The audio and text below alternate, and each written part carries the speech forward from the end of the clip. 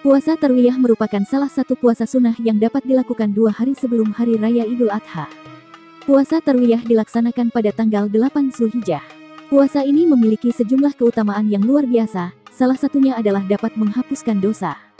Nah bagi yang ingin menjalankan puasa sunnah ini, berikut bacaan niat puasa tarwiyah sebagaimana dikutip dari NU Online. Nawaitu sawma tarwiyata sunatan lillahi ta'ala. Artinya, saya niat puasa sunnah tarwiyah karena Allah Ta'ala. Berdasarkan hasil sidang isbat yang dilakukan pemerintah pada tanggal 18 Juni lalu, ditetapkan 1 Zulhijjah 1444 Hijriah jatuh pada tanggal 29 Juni tahun 2023.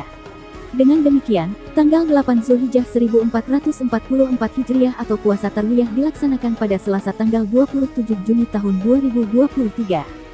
Sementara itu, pimpinan Pusat Muhammadiyah telah menetapkan 1 Zulhijjah 1444 H 2023 M jatuh pada Senin, tanggal 19 Juni tahun 2023.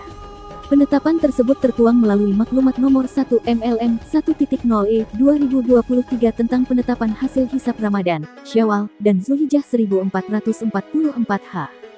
Mengacu pada penetapan tersebut, maka jadwal puasa Tarwiyah dan Arafah Muhammadiyah akan sedikit lebih awal. Warga Muhammadiyah akan melaksanakan puasa Tarwiyah pada Senin tanggal 26 Mei tahun 2023.